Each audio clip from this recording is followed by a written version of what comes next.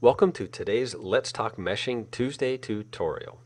I'd like to introduce you to a common problem that our users run into and the common solution to that problem. Every once in a while, our users will send us a cylinder that they've put an unstructured domain on and it looks a little bit like this. It's made up of two half cylinders. You see the unstructured domain there, the unstructured domain there. Those are associated with half cylinder database shapes. And the problem comes in with the end cap domain. As you might imagine, that is unacceptable. Now the cause for this problem is that that end cap domain is associated with databases. Unfortunately, it's associated with the wrong database. It is currently associated with this half database that makes up that half of the cylinder and this half database that makes up that half of the cylinder.